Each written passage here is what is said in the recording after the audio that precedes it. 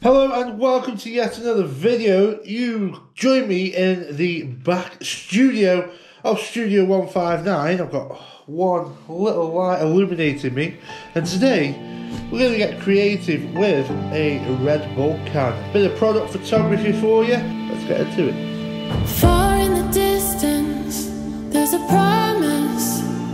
It seems far in the distance. So the setup is very simple. We've got the can in the middle of the table.